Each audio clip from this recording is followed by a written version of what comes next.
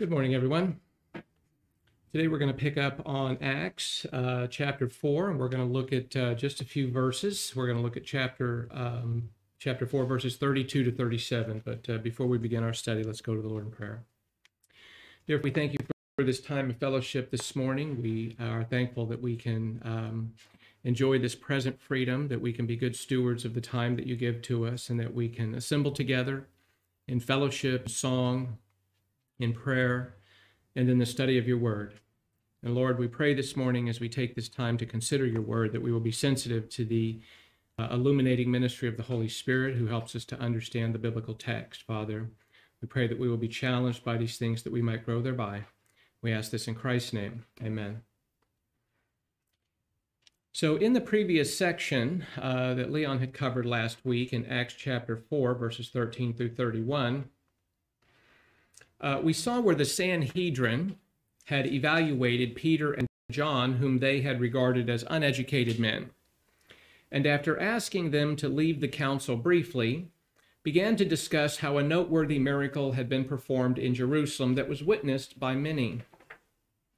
The Sanhedrin were impressed by their confidence and recognized that they had been with Jesus. And despite being, uh, being ordered to stop preaching about Jesus, Peter and John uh, refused to obey and continued to preach. And this shows that some acts of civil disobedience are required by God's people when the civil authorities command something that is contrary to the will of God. And after Peter and John left the council, they reported their encounter to their companions, and they all prayed together for boldness and were filled with the Holy Spirit. And the last thing that we're told by Luke in that section, in that pericope, is that the place uh, where they prayed shook. And this is a sign of God's approval. And they continued to speak the word of God uh, with confidence. And, uh, and so now we're going to move on in our next section and finish out just the last few verses of this chapter. In Acts 4:32, uh, we read, "And the congregation of those who believed were of one heart and soul, and not one of them claimed that anything belonging to him was his own, but all things were common property to them. Now, this newly formed group of believers experienced a radical change of heart. And Luke tells us that they were of one heart and soul, cardia kai psuche uh, is how the Greek reads, uh, one heart and soul. Now, the word heart here from the Greek word cardia does not refer to the physical organ, uh, but according to BDAG, refers to the center and source of the whole inner life with its thinking, feeling, and volition. Now, the New Testament use of the word soul, here psuche, from which we get the, and we bring it into the English, like in the word psychology. But the New Testament usage of the of soul, psuche here, uh, is sometimes difficult to distinguish from the heart, from cardia, as it too can refer to the inner life of a person and its various faculties. Uh, but when combined together, the heart and soul denotes the common mind that caused the church to be united at the deepest human level. Now, the result of this was an abandonment, really, of self and self interest uh, as we're told that not one of them claimed that anything belonging to him was his own, but that all things were common property to them. And so here we witness an outward behavior that reflects a transformed heart. Now, God continued to work through his apostles. As Luke tells us in Acts 4:33, it says, "And with great power the apostles were giving testimony to the resurrection of the Lord Jesus, and abundant grace was upon them all. Now, the main purpose of the apostles was witnessing for Jesus. That was their primary uh, function here. And their witness came with great power, duname. We, uh, uh duname, megale is the Greek, and duname is the word for power. Uh, we energy, we bring it into the English like in the word dynamite. Uh, but their witness came with great power, which, considering the context, refers to miracles that God was performing through them. And of course, the miracles were not really ends in themselves. That's not the purpose of the miracles, but were intended to serve as a testimony for the Lord Jesus. specifically concerning his resurrection from the dead. So the apostles were not pointing to others, uh, were not pointing others to themselves. They were not doing these miracles uh, or God doing the miracles through them and then saying, Look at me. Uh, but they were actually pointing people to Jesus because that was the point of it. So true Christian ministry always starts with Jesus.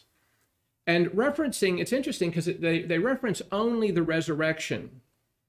And referencing only the resurrection seems to be a form of evangelistic shorthand that by implication assumes what? His death and his burial. I mean, you can't have a resurrection without a death, right? Uh, so again, it seems to be a form of evangelistic shorthand that by implication assumes Jesus' death and burial. For again, one cannot have resurrection without the former events, and when taken together, communicates really the core of the gospel message. Jesus here is called Lord from the Greek word kurios. And uh, this is really a reference to his divinity. Now, the Bible presents Jesus as God. There's a number of references that are very clear on this. Without question, he's presented as God. John 1 1, John 1 14, John 20 28, uh, Hebrews chapter 1. I mean, you have so many references to the deity of Christ. It's, it's amazing that anybody could teach otherwise. Uh, but the Bible presents Jesus as God. And in the Old Testament, for example, the proper name of God is Yahweh, and we see that in the four letters that make up the proper name of God, the Yod He Vav He, what's referred to as the Tetragrammaton, and is translated Lord all in capital letters. Uh, at least that's how our friends at the NASB uh, translate it. Now, when the Septuagint was written around 250 BC, uh, which is the Greek translation of the Hebrew Old Testament, the translators chose uh, the Greek word kurios as a suitable substitute for the Hebrew name Yahweh. And though the word is sometimes used in the New Testament to, to mean sir or master, it is also used to refer to the deity of Jesus. For example, you think of in John the Baptist in John 1:23 where John is pointing to Jesus, but John says of himself what? He says, "I am the voice of one crying in the wilderness, make straight the way of the who? Of the Lord." Well, who's he talking about? He's talking about Jesus. And there he uses the Greek word kurios. What's interesting is if you go back and you look at Isaiah chapter 40, verse 3, where, where John is lifting this passage, uh, the word Lord there is the, is the tetragrammaton. It's the proper name of God, Yahweh. So clearly taking this passage that speaks of Yahweh and applying it to Jesus. So again, it's just one of a number of passages that clearly point to the deity of Christ, and that's how the word is understood here. And we are also told that abundant grace was upon them all. And grace is a word that appears 17 times in the book of Acts. I'll talk about that a little bit later because I love the subject of grace. And of course, it appears uh, uh, about 155 times in the, in the Greek New Testament. And if I remember correctly, Paul gobbles up that about 130 usages of that word. And Paul is a big, big grace man. I forget the exact number, but that's a, a, a rough guesstimate. But we're told that abundant grace was upon them all, charistes megale. And grace generally refers to the unmerited favor or kindness that one person freely confers on another uh, without regard to the beauty or worth of the object. Grace has more to do really with the heart of the giver who blesses others from the bounty of his or her own goodness. And again, as I mentioned a, word, a, moment ago, the word grace appears 17 times in the book of Acts and commonly denotes uh, throughout uh, really a divine enablement to perform a task, which gives success to the ones so blessed. You see this concept of divine enablement like when we think of like Paul in 2 Corinthians 12, 7 through 10, where he has his thorn in the flesh. And Paul does what any believer would do. He prays three times for God to take it away, right? He says, I beg the Lord. In fact, it was a really quite intense form of prayer. Uh, but God tells him no. And of course, we understand from that principle that what God does not remove, he intends for us to deal with, and this by faith. But he tells Paul, he says, My grace is sufficient for you, for power is perfected in weakness. And, and, and in that context, like we'll see in Acts in a number of references, uh, it refers to divine enablement. It means that God gives the believer what is needed to perform the task. And it's always sufficient for the moment. I mean, Paul, God tells Paul, My grace is sufficient for you. And God's grace is always sufficient for the need. Now, we must always realize that the grace that God gives is sufficient for the need of the moment. And we can't look at tomorrow's problems from today's supply of grace because we might say, oh, well, I don't have enough. Well, that may be true. But when the problem arises tomorrow, God's grace will be sufficient for the need because it's always sufficient for the need. And, uh, and that is how grace is, uh, appears throughout the book of Acts primarily. And so God's grace took material form in the early church, as Luke tells us in verses 34 and 35. He says, For there was not a needy person among them.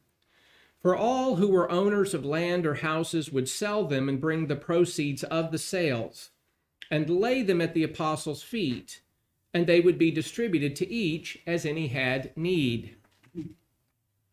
Now, meeting needs, and I, I thought about this because I thought, well, as any had needs, what are we talking about? Because one must differentiate needs from greeds, right? And of course, uh, you know, we're told in the scripture that uh, my Paul says, "My God shall supply all of your needs according to His riches in Christ Jesus." So, meeting needs really meant providing the basics of food and clothing. For example, in James 2:15 and 16, he says, "If a brother or sister is without clothing and in need of daily food," now that's really the irreducible minimum, isn't it? Uh, as far as getting down to the basic necessities of life. We're talking about food and clothing. But he says if a brother or sister is without clothing and in need of daily food, and one of you says to them, Go in peace, be warmed and be filled, and yet do not give them what is necessary for their body, what use is that? Paul writes in 1 Timothy 6 8, he says, If we have food and covering, with these we shall be content. Again, bringing it down to that irreducible minimum. Now, it's fine if God blesses us with more than these things, but we should always learn to be content really with the basics. If I remember correctly, roughly half the world's population right now lives on about $5.50 a day, last time I checked. And that's a, that's a pretty small amount. You know, we struggle with issues here in America, but nothing compared to uh, uh, half the people on the planet who are wondering where their next meal is coming from. And so, again, it's fine if God blesses us with more than these things, but we should always be learned to be content with the basics. Now, it is assumed in this passage that those who were in need either lacked the ability or opportunity to care for themselves. Biblically, it was expected that if one could work, they should. And you find this throughout the Old and New Testament. Paul says in 2 Thessalonians 3.10 um, that if anyone is not willing to work, neither shall he eat. Okay, so no work means no food. Of course, this assumes that one has the physical and cognitive ability as well as the opportunity. And naturally, a special dispensation would be granted to those who could not help themselves because of a disability.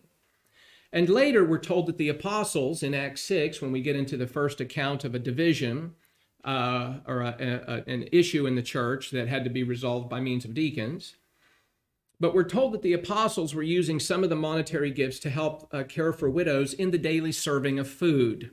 And so we see how this was applied. Now, in Acts 4 34 and 35, we observe really that God did not provide for the needy by means of supernatural acts, such as manna or money coming down from heaven to provide for them. And we know that he did that with the Israelites in the wilderness, right? And of course, they're out there in the wilderness of Kadesh Barnea for 40 years, wandering around in a, in a circle uh, for 40 years until uh, the Exodus generation, at least those that were 20 years of age and older, died off. And God met their needs from day to day. They had water to drink and food to eat, the manna that fell upon the ground. And their clothes didn't wear out. And so that was God's logistical grace. Uh, that he met their needs in that situation because they didn't have highways to truck in food and that sort of thing. So we know that God can provide. And he did that generation supernaturally. We know, we think of Elijah, where birds brought him food to eat, and we see God acting supernaturally, but that's not the case here. So again, we do not see where, where we, what we observe is that God did not provide for the needy by means of supernatural acts, such as manna or money coming down from heaven to provide for them. Rather, God chose to meet the needs of the community of believers through his own people, whom he blessed greatly with material wealth. With material wealth. This afforded them the opportunity to step up and really serve as conduits of God's grace to help meet the needs of the people around them within the community. Now, these wealthy and open handed believers served as conduits of grace as they sold their land and houses uh, that were of little personal benefit and gave it to help meet the needs of others. And this is a setup, really. We're about to see a, a wonderful man, a man that I have great admiration for in the Bible, a man named Barnabas, uh, a guy that just, his life and his character just so resonates with me. I mean, there's just so much about him to love and appreciate. And we see the setup here for the introduction to Barnabas in a, in a moment.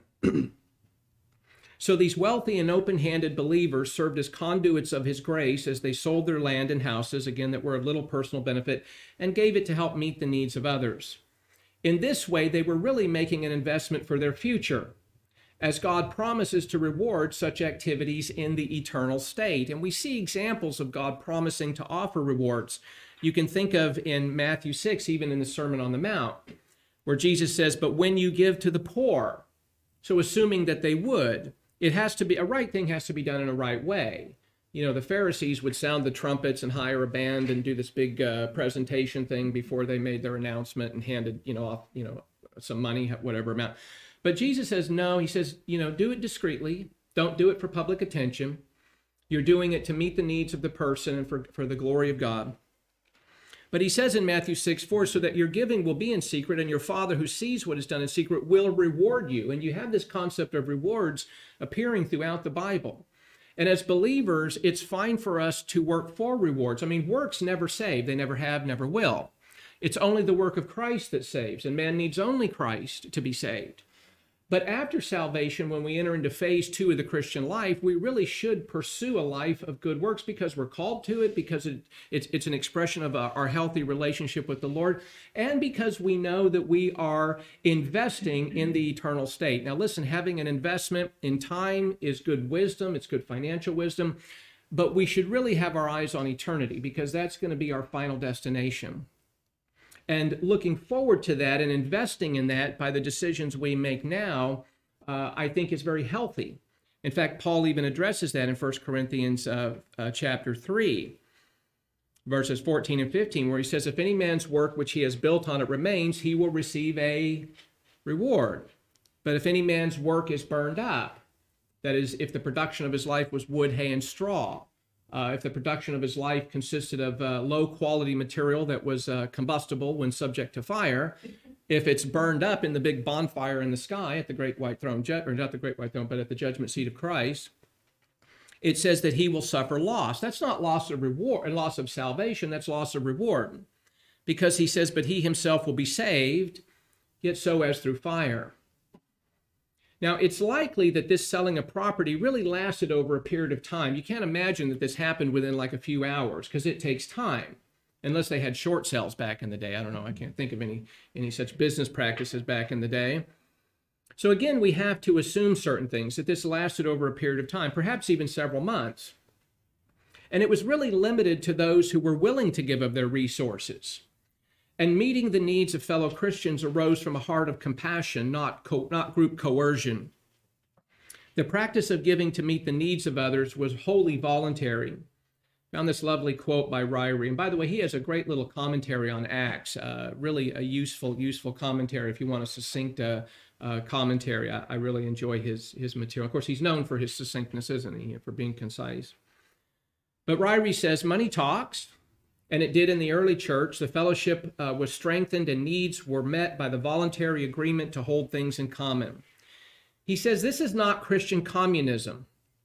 The sale of property was quite voluntary. The right of possession was not abolished. The community did not control the money until it had voluntarily been given to the apostles. And the distribution was not made equally, but according to the need. These are not communistic principles. This is Christian charity in its finest display. And he's absolutely right. It is not a sin, by the way, to be wealthy, as God sometimes blesses his people with great wealth, with great riches. He certainly gave great wealth to Abraham, to Isaac, to Jacob, to Job, to David, and of course to Solomon, among others. And sometimes this wealth came suddenly, such as when God liberated the Israelites from Egyptian slavery. And think about this: when they came out of uh, out of Egyptian slavery, they came out and they they they plundered Egypt. I mean, Egypt had been reduced to a third world power by the time God got through with them. Their economy was destroyed, their agriculture was destroyed, their military was destroyed uh, at the great, uh, you know, at the Red Sea. I mean, they were really reduced to a third world country. Um, but we realize that when they came out, they came out with this abundance of wealth. In fact, in Exodus 3:22, it tells us that that when they came out, that that uh, it says, "But every woman shall ask of her neighbor and the woman who lives in her house." uh, articles of silver and articles of gold and clothing, and you will put them on yourselves and daughters, and thus you will plunder the Egyptians. Uh, one might almost take this as 400 years of back pay for their years of slavery in Egypt in which they were mistreated. Now, afterwards, God gave his people the land of Canaan. So once they go into the land of Canaan, this included cities, houses, wells, vineyards for which they did not work. Sometimes God gives wealth uh, sometimes suddenly. You think of when they went into the land.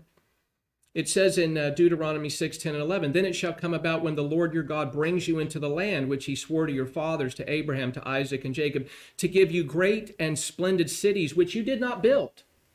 So they come in, they defeat the people, they destroy the Canaanites, they execute the herem, which was a one time deal in human history. They didn't do it. And of course, we know that's caused them problems. You can read Judges for that. But they were to come in and they were to suddenly take possession of these cities and houses full of good things which you did not fill, and hewn cisterns which you did not dig, vineyards and olive trees which you did not plant, and uh, and so on. But they would suddenly come into possession of this wealth, and God sometimes has a way of doing that. You think of when Abraham suddenly came into wealth in Genesis 14, uh, when he came against, uh, you know, at, when he battled against um, uh, Chedorlaomer and uh, and there was that defeat, and he finally uh, came to possess great wealth.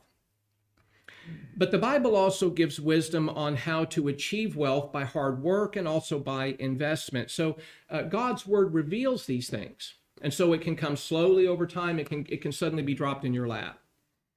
And so we see these wealthy believers in the early church who again are giving of their own resources.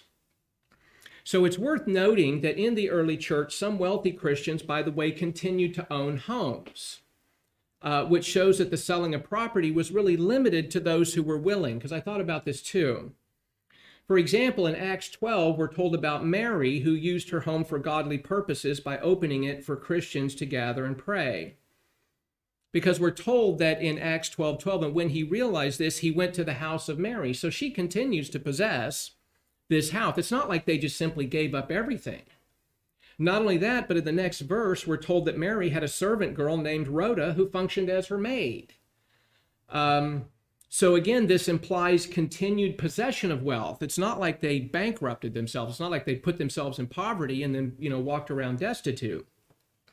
In Acts 16, we're also told about a wealthy woman named Lydia who was a business owner and who was a seller of purple fabrics and later opened her home to Paul and to Silas, again, owning, having the possession of this home.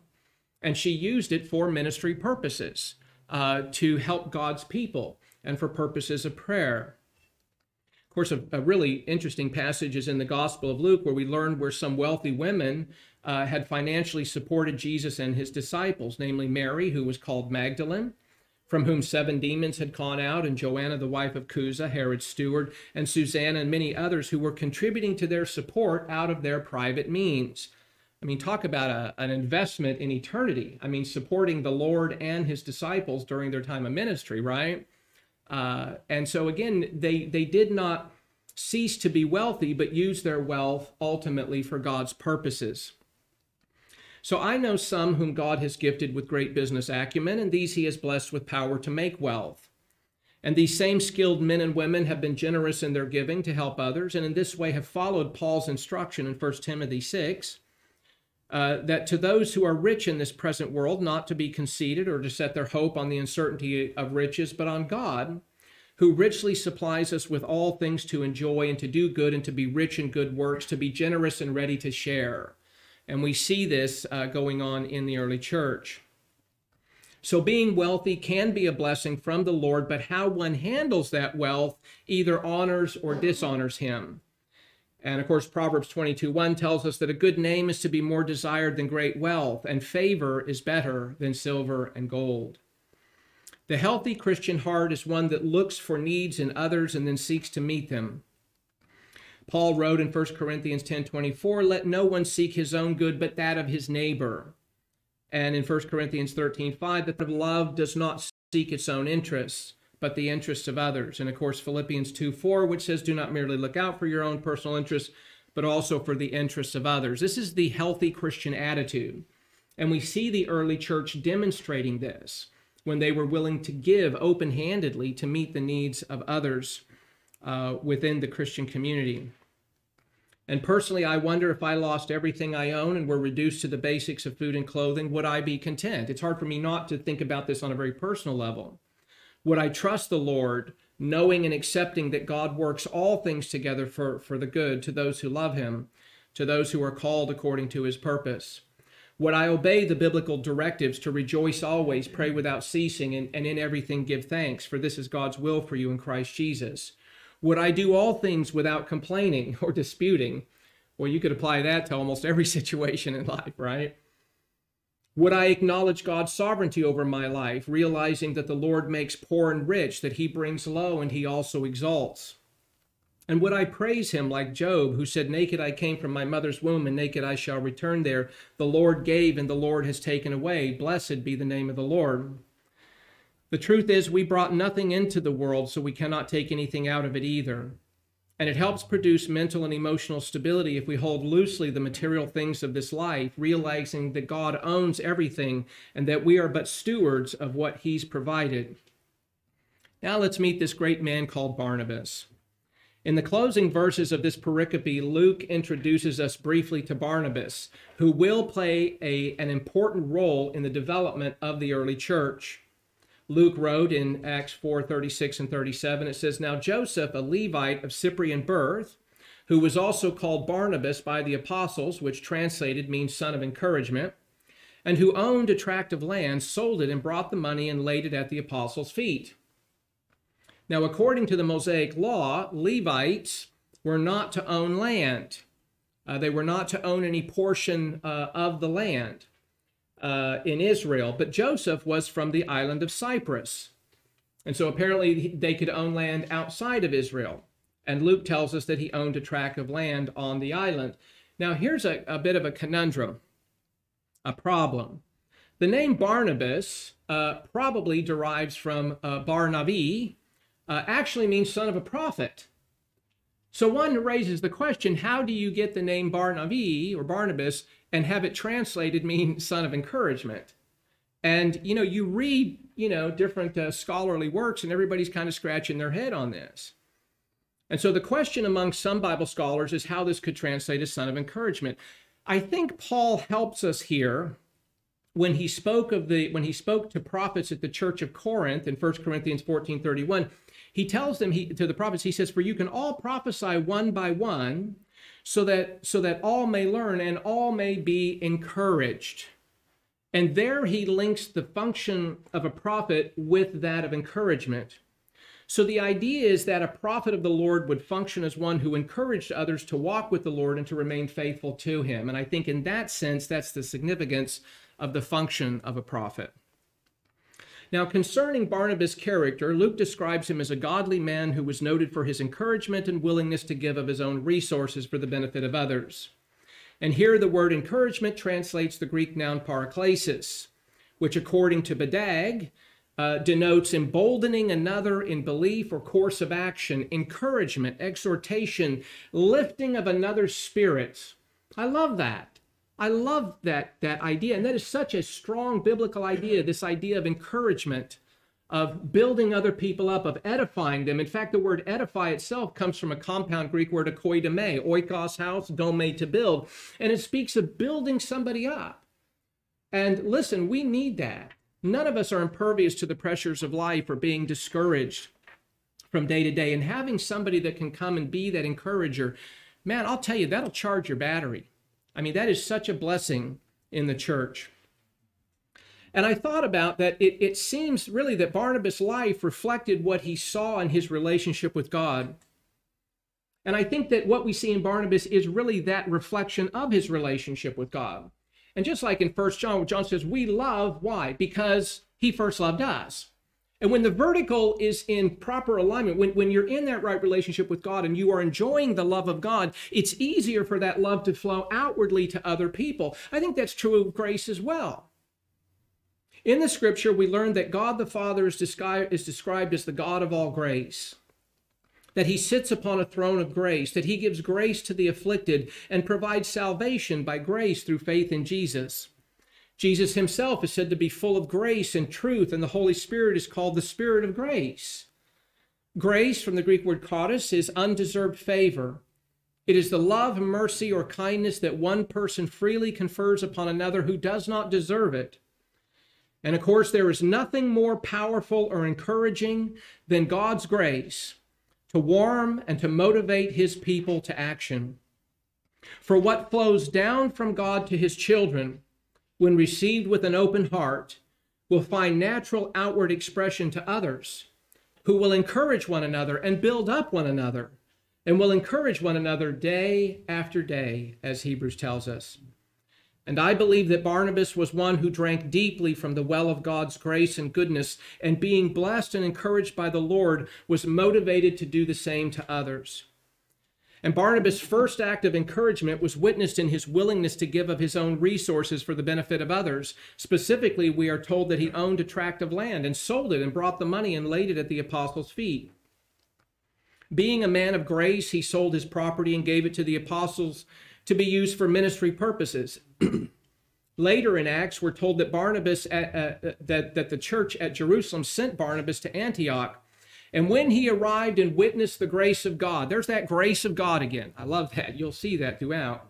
But when he arrived and witnessed the grace of God, it says that he rejoiced and began to encourage them all with a resolute heart to remain true to the Lord. And here the word encourage translates that Greek verb parakaleo, which means to call to one side.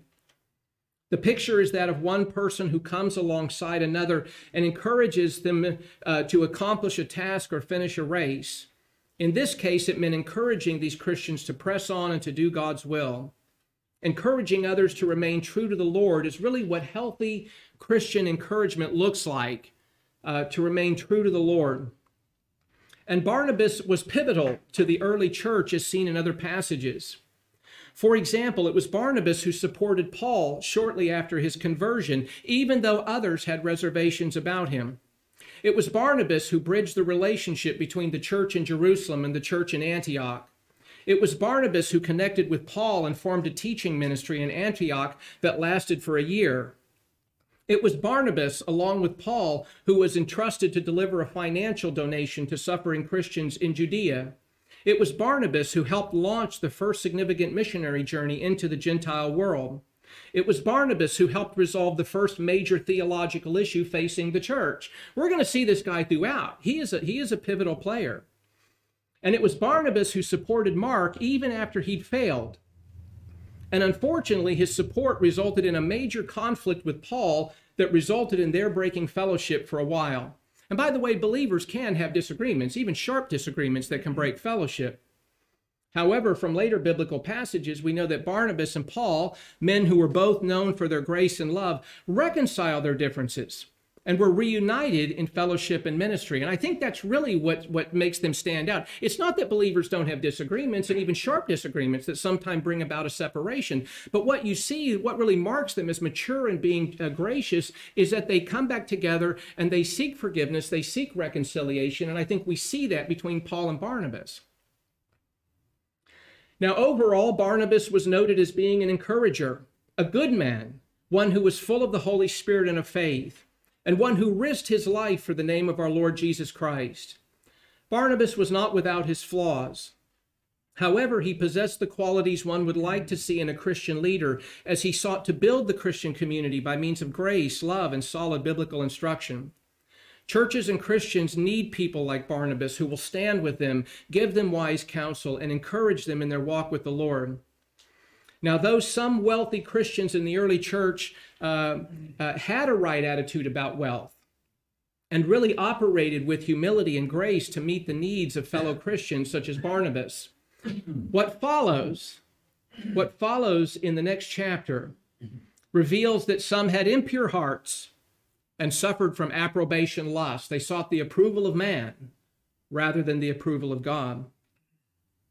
And so, uh, whereby deceit, they sought again the approval of others rather than God. And these paid a heavy price for their sin. Of course, I'm anticipating where Leon's going to go uh, next week in Acts chapter 5. So, a quick summary of this section that we've covered today. In the early church, the early church really had a sense of Christian community within itself. And those, uh, and those who had wealth voluntarily shared with those who were in need. Love was the motivation for sharing, as there was no command from heaven and no human pressure from the church leadership to give. What we see in this passage is much of what we see throughout the book of Acts. It's descriptive, not prescriptive. And passages like Acts 4 uh, 32 to 37 really provide an ideal picture of what the church should look like in its everyday functions. And so that is going to close out this section, these few verses. Uh, do we have any questions about this section of Scripture? Yes, sir. Uh, so you brought up a good point with Levi owning property. Out of curiosity, do you know if the tribal allotment is still in effect and how the transaction from a, a person and land they might have had, were they still following the Mosaic law at that time that said that that would be returned in the future? Um, if I uh, okay, so if I'm okay, so you're asking, uh, was the Mosaic Law still in effect, such that someone like Joseph would have been uh, adhering to that? Okay, uh, we know from Hebrews 8 13, uh, Romans 6 14, other passages that, the, that the, after the death of Christ, that the Mosaic law has been rendered obsolete and that we are now under the law of Christ. I don't think they fully understood that. I think later on, when you get into Acts, where Peter has a hard time even accepting, you know, the Lord's directions to go to a Gentile, and uh, you know, three times tells the Lord no. And Peter has a way of, you know, there's something about three in Peter that just seems to go together when he's when he's failing because uh, he doesn't just fail, you know, once or twice. I mean, he really puts a bow on it, you know. Um, but I, I, think they're transitioning at this time now. Whether or not he was obedient to the law up to that time, or whether or not he fully understood, uh, we don't know. Uh, we're, we're, not sure. Uh, but I think when one looks at the uh, directive that was set forth in the in Numbers that uh, forbid them from owning land in in in within the nation, within Israel. Uh, I don't think that excludes land outside of that. And, um, and it, that's an argument from silence. I get it, but, but the text tells us uh, whether he was obedient to the Lord or not under the law as he understood it or would have been compliant. Um, the text simply tells us that he owned a tract of land uh, in Cyprus and so it was understood that he sold that land. Now you know did he have to you know did he have to get on a ship and travel there? Did he have somebody he could communicate with? Again we think about the process of all that. But uh, it, it, just simply tells us what he did you know and so we're limited as far as that. So i don't know that i could really expand more than that. I don't even know if i answered your question or not. Yeah i guess beyond beyond him and the levite uh-huh. in general those who were giving land these are all Jews, and based on Mosaic law, you don't ever permanently give away land. Right now, again, I see that point too because you you could it, in effect what you were doing was leasing it out uh, because the land ultimately came back to you, which I love that. I wish we did that here in America. That we don't, uh, you know, because there's a tax system. You never fully own your land, is what the, that boils down to. Uh, anyway, I'll try to avoid going too far into that, but um, but you're right on that. So in this case, I think because the land was it was a tract of land in Cyprus, I think once he did sell it, I think that was I think that was done. I don't think that was something that he could have retrieved. So, any other questions or comments? Good question, by the way. All right, let's pray. Dear Father, we thank you for this day, for this time of fellowship and studying your word. We thank you for this interesting passage and this uh, description of what happened in the early church with this love and this graciousness and this open handedness that these believers who had means were willing to give of their own resources uh, to meet the needs within the church, within the body of Christ as it was as it was developing at that time. And we are also thankful for the introduction of this man Barnabas, who was so pivotal in the early church And Father, we are just uh, thankful for men like him who are not only gracious and open handed uh, in their giving, but also men who were uh, noted, a man who was noted for his being an encouragement to others. And Father, we just thank you for this day. We pray that as we think on these things, that we will be challenged uh, to apply truths to our life and to grow thereby. We ask this now in Christ's name. Amen. Amen.